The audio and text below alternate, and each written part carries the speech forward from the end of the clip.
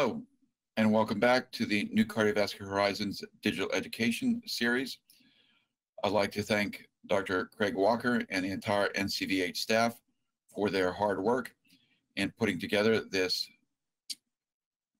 very important series of lectures. I certainly hope that most of you tuning in will find these very useful for your practices and of uh, good educational value. The topic of this lecture is the role of non-invasive testing in the diagnosis and selection of treatment options for PAD patients. These are my disclosures. Well, vascular testing for PAD starts with diagnosis, case planning, and ends with surveillance once an intervention has taken place.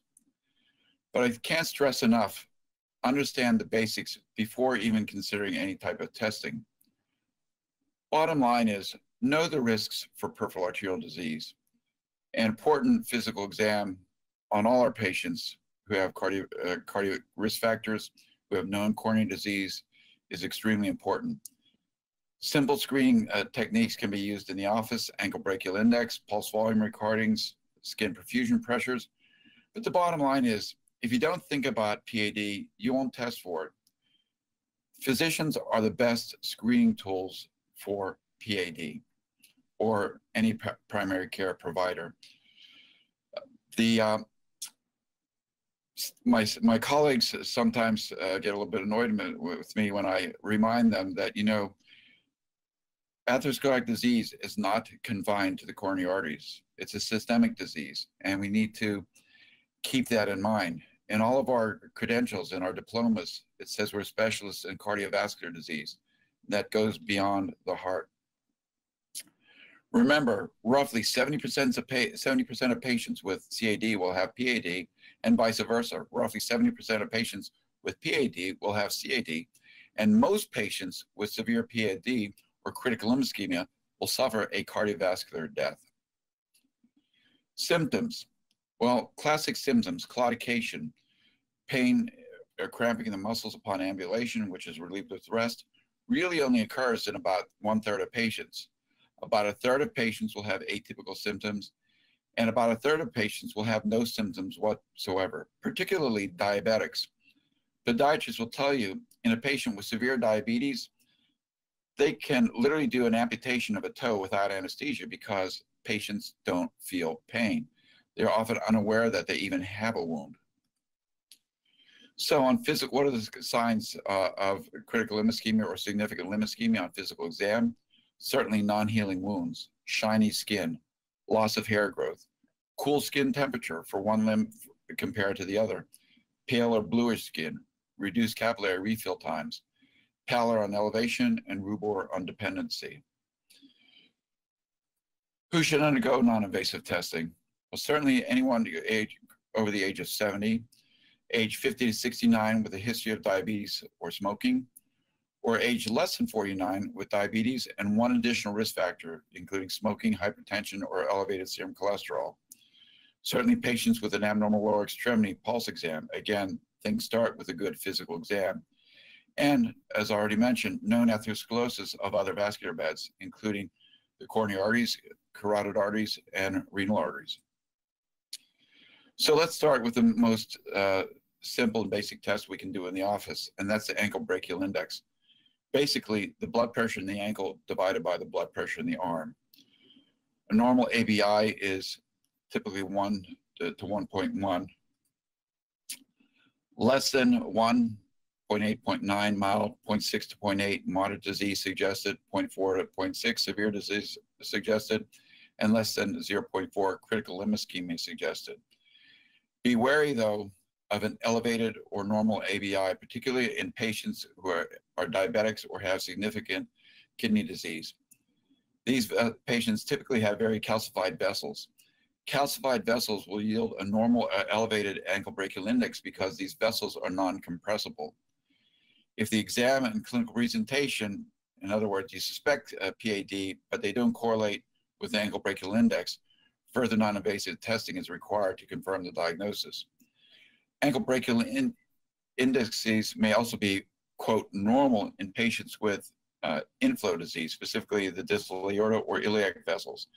These patients not infrequently will have a normal ABI at rest, but when you exercise them, will have a substantial drop in their ABI. So again, if you suspect PAD and they have a normal ABI at rest, also follow up with an exercise ABI. ABI. A toe brachial index is not influenced by calcium in the vessel, but again, as long as there's a toe present in which to measure a toe brachial index. Skin perfusion pressure is an also an, a simple way of evaluating the microcirculatory health. It's a distal arterial test. It uses utilizes laser Doppler to evaluate reactive hyperemia. It measures in millimeters of mercury the pressure at which blood flow first returns to the capillaries following controlled release of occlusion. In other words, a blood pressure cuff around the affected limb. It is a, a very accurate indicator of healing potential and disease severity. As this chart demonstrates, it uh, uh, similar to ABI, greater than uh, an SPP of greater than 50 millimeters mercury is uh, considered normal. Less than 40, in the range of 40 to 50, correlates with mild disease. 30 to 40, moderately uh, abnormal disease, and less than 30 is likely to be associated with severe peripheral vascular disease. Again, this graph demonstrates, correlates very nicely with ankle brachial indices. But again, beware in patients with end-stage renal disease, diabetes, and particularly if they're on dialysis. Next, let's talk about another simple in-office in test, pulse volume waveforms or pulse volume recordings. This was actually developed quite a number of years ago by a gentleman named Raines. He was an MIT student researcher all the way back in 1973. This study was made possible by new advances in transducer technology with improved sensitivity in detecting arterial pressure pulse change. This uh, study assumes that volume changes in the cuffs placed around very, at various levels around the affected limb by the passage of uh, the pulse wave of blood is proportional to changes in the arterial volume encompassed by the cuff. Pressure sensitive transducers will yield a waveform representative of a true arterial pulse contour. Again, some people uh, mistake uh, PVR tracings as true arterial tracings. They, they're not, although they look similar to an intraarterial waveform, uh, obviously they are not. Normal waveform is associated with a rapid systolic upstroke, a relatively sharp peak, and a reflected wave on the downstroke, uh, often referred to as a dicrotic notch, as we refer to them in a normal um, arterial uh, waveform uh, measurement. With mildly uh, abnormal, mild disease, uh, the waveform becomes mildly abnormal. There's some broadening, uh, mild rounding of the peak of the curve, and loss of the dicrotic notch or reflected wave. Moderately severe disease, further widening and rounding of the waveform with a re significant reduction in the amplitude. And in severe disease, further widening and uh, great reduction in the amplitude. In fact, it's not unusual in these patients to see a flatline uh, type tracing. Uh, here's an example of a completely normal uh, PVR recording. It also demonstrates the, the level at which the uh, blood pressure cuffs are placed around the leg. And again, as you can see at all levels, there is uh, a normal waveform with the sharp upstroke, uh, sharp peak, sharp uh, rapid downstroke, and a dicrotic notch. So once we've done some simple non-invasive testing in the office, what are our next options to help confirm the diagnosis of PAD and help guide uh, management? We need to uh, look at duplex ultrasound. We also have the options of contrast arteriography, uh, CT angiography, or uh, magnetic uh, resonance arteriography. Duplex ultrasound, another very inexpensive way to further evaluate patients for peripheral vascular disease. The advantages of ultrasound is that it's simple and cheap, it's non-invasive, there's no contrast administration involved. It's not only great for diagnosis, but also for surveillance. Disadvantages is that it's more qualitative than quantitative. Basically tells us, yes, there is disease, but does, doesn't necessarily tell us the extent of disease, uh, and certainly is not sufficient to tell us whether or not any type of uh, intervention, either surgical or endovascular, is uh, possible or indicated in that patient. It's also highly technician dependent, especially below the knee where the vessels are very small, particularly if a patient is obese or has, has significant venous insufficiency uh, with very, very large calves. Uh, obese patients as well, particularly in the uh, pelvic and abdominal views, which may uh, be very difficult to see, uh, especially not only from the adipose tissue, but also uh, from uh, uh, obstruction from bowel, bowel gas, uh, etc. there are normal velocities by the duplex ultrasound, which are we can use as guidelines as you would suspect, the further away from the heart, the slower the velocity as we get into away from the conduit vessels to the resistance vessels. And as obstruction occurs and the, the severity of obstruction increases, the velocity through the obstructed segment will increase. Same reason the uh, flow of water through a garden hose increases when you stick your thumb over the end of the, of the end of the hose the same amount of blood is trying to get through a smaller space. So by definition, in order for that to uh, be accomplished, velocity has to increase. Most uh, studies, both uh, primary studies as well as looking for patients uh, uh, at patients for restenosis who have had an intervention procedure, either use a, a peak systolic velocity increase of 2 or 2.5 as the standard the definition. You'll see this in the literature. Uh, various studies use either 2 or 2.5 as an indicator of significant obstructive disease. Example here of a color flow added to the duplex ultrasound, the art artery in the uh, red and orange, and the venous uh, structures in blue. And a follow-up slide here demonstrating what happens. Certainly in the area of obstruction, uh, flow becomes turbulent. It's no longer laminar. And also we see on the uh, uh, an increase in the uh, velocity of blood flow through the area in question. So as once we made the diagnosis of peripheral vascular disease, either by our physical exam, in-office testing, or duplex ultrasound, when and why do we uh, move on to CTA or MRA for imaging? I think at this point in your uh, managing that patient, you have to define what is your goal of moving on further. Well, if the diagnosis is still not made or unclear from uh, your, not, your simpler non-invasive study, you may want to proceed with CTA or MRA for imaging. Uh, it's going to be a more accurate assessment of the disease severity, disease location, and extent of disease. Remember, PAD is often multi-level disease. It also allows us to assess uh, collaterals and their source. But largely, we use CTA and MRA for case planning. Uh, we want to decide is this something that is a surgical case or something that we can manage with endovascular techniques? If we are going to uh, uh, approach that patient with endovascular techniques, uh, where are we going to approach from? It's going to be femoral, popliteal, pedal, brachial, even these days with longer catheters, radial access. And we can also uh, begin to prepare for the procedure by deciding what kind of devices we might need to use, what kind of wires we're going to use. Are we going to perform atherectomy? what's the degree of calcification? If we intervene, what's uh, the peripheral runoff? Is there a chance for distal and occlusion of the runoff vessels? Disadvantages of these uh, studies is that uh, of CTA in particular is that it exposes a patient to contrast and radiation. Images with CTA in particular are often obscured by calcium. Uh, calcium artifact can create or obscure lesions, uh, give us pseudo lesions, depending on how we uh, look at the images if we do plan on an intervention, uh, it requires a repeat contrast exposure. You're now exposing the patients to multiple uh, episodes of uh, contrast, which becomes problematic if you have renal insufficiency or are uh, diabetics, which are many of these patients are. So the way I like to look at it is I'll proceed with an angiogram or intervention as a primary rather than CTA as a diagnostic tool if there's an extremely high likelihood that I'm going to find disease and uh, proceed with an intervention. The question I ask is why uh, expose that patient to two episodes of contrast?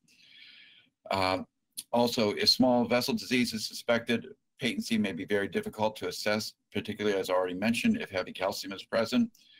Uh, calcium can obscure or lead to overestimation of stenosis, just as in the larger vessels. If you do suspect small vessel disease, MRA can uh, often be more helpful than CTA. Sorry there. Uh, this is a typical CTA of um, uh, a patient with an abdominal aneurysm. But the reason I put this slide up is to uh, make a couple points very uh, clear about your evaluation of CTA. As you can see in the iliac vessels, there's intense calcification. There's also some spotty calcification in the aorta itself and the aneurysm. With the calcium uh, present, it's really impossible to say, looking at a reconstructed image like this, whether or not there is obstructive disease in those iliac vessels. I think as angiographers, we like to uh, see reconstructed vessels just like we look at angiograms in the heart. Uh, we like to look at angiograms the same way in the uh, in the legs, see blood flow and uh, the uh, vessels along their long axis. But I think when looking at CTAs, we need to be uh, like read these studies like radiologists, looking at the axial views. As you can see on the frame on the left, we really can't see the degree of obstruction. But if we look at the same level on the cross-cut views, we can see that there's full filling of those vessels with contrast and no obstructive disease. So again, you must learn to read axial cuts if you're going to use CTA as part of your evaluation in these patients. Again, uh, CTA uh, at the iliac femoral uh, uh, level, again, difficult to say because of the calcification. Clearly a normal vessel on the uh, right leg and a highly obstructed vessel in the left leg uh, seen on the axial cuts. CTA becomes more difficult to interpret in distal vessels, uh, particularly in diabetics and patients with CKD, because these uh, vessels are not only smaller, but often intensely calcified as well. Again, looking at the trifurcation vessels on the axial cuts on the right, uh, giving us more uh, in-depth information than looking at the reconstructed view. Uh, again, another example, level of the uh, axial cuts at the bifurcation, seeing the cross-sectional views, clearly a totally occluded vessel, uh, moving the calcium out of the way on the right side, and also looking at the left, we not only see uh, we see the vessel patent, but also an aneurysm being present. Again, learn to read the axial cuts. MR angiography, let's move on to that for a few moments, does have advantages uh, as CTA and that it's non-invasive. There's no iodine-based contrast used. There's no radiation exposure to the patients. It is better for small vessel visualization. Sensitivity and specificity, 95 and 97% respectively versus CTA at 91% for both. Disadvantages, at least I found in my practice, is that there's it's highly technique dependent, uh, giving us both false positives and negatives. Highly reader dependent, again, giving us false positives and negatives. Not all centers have MR, and so many of our patients uh, with uh, cardiac and vascular disease have pacers, ICDs, and other metallic implants, which may preclude the use of an MR. And gadolinium nephrogenic systemic fibrosis is, is still remains a risk in these patients. And time, uh, these uh, MR is uh, uh, dependent on a very, very still patient uh, subject to movement artifact and oftentimes not obtainable in uh, patients for that reason. Again, uh, an example of an MR with a distal of the aorta and runoff. Uh, very nicely showing a totally occluded left superficial artery with uh, the source of collateral channels. And also, I think, higher uh, resolution of the below the knee vessels. and another MR example. Uh, once we make the diagnosis and once specifically once we treat, post-intervention surveillance is also important it's not a one and done. Again, every time that patient comes in, a careful history, a careful physical exam, repeating the simple non-invasive studies if uh, appropriate in the office, and surveillance with duplex ultrasound. Uh, ACC/AHA guidelines follow-up studies at one month six months and 12 months, and then annually thereafter. Some patient uh, uh, uh, physicians will also include a three-month follow-up study uh, because depending on the extent of disease and the uh, risk for restenosis once an interventional procedure has taken place. CTA is not routinely used for most patients as a surveillance tool unless indicated clinically. Uh, that being said, if we're following patients, as you know, for uh, abdominal aortic aneurysm who's had a uh, endovascular stent graft, we do need to use contrast to assess for the persistence or development of an endovascular leak. So in conclusion, again, I can't stress enough, don't forget the basics, a good history and physical. In those patients who have a high index of suspicion uh, for multiple risk factors, proceed with the simple in-office screening tools, confirm your, test, your diagnosis, in most cases with another simple non-invasive study such as duplex ultrasound, and understand your goals. What do you want to get out of an MRA and CTA if you're going to proceed to that? If diagnosis only is your goal, then careful exam and simple non-invasive studies may be enough uh, to guide your treatment. CTA and MRA in those cases may be uh, unnecessarily and only add cost unless the simple screening tests have been non-diagnostic. If treatment or intervention is your goal, a thorough physical exam, still again, start with the basics. Uh, CTA and MR may be extremely useful for confirming the diagnosis, but in patients who have a high index of suspicion or uh, feel have a high chance of uh, intervention or the need for intervention, it may be more useful simply to proceed directly to invasive angiography and intervention at the same time. Thank you.